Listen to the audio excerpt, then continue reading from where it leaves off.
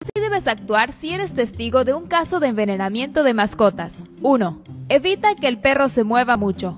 2.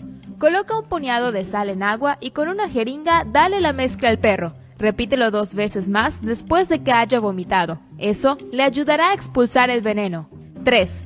Después, disuelve en agua una pastilla de carbón y dásela al peludo para evitar que el tóxico lo absorba su intestino.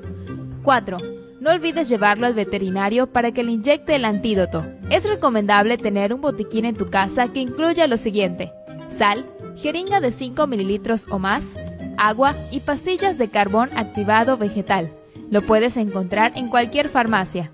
De esta manera puedes salvar la vida de estos animales.